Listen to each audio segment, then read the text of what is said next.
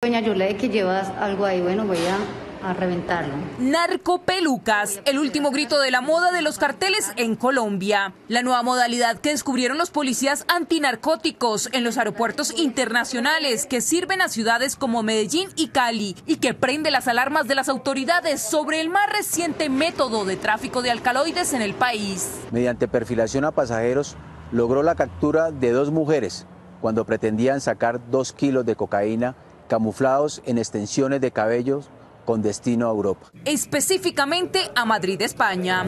negativo. El comportamiento de una de ellas causó la curiosidad de las autoridades, que le realizaron el seguimiento paso a paso por la terminal aérea, junto a su frondosa cabellera, hasta que deciden interceptarla. Se le realiza la entrevista a esta pasajera, preguntas de rutina, y en estas la señora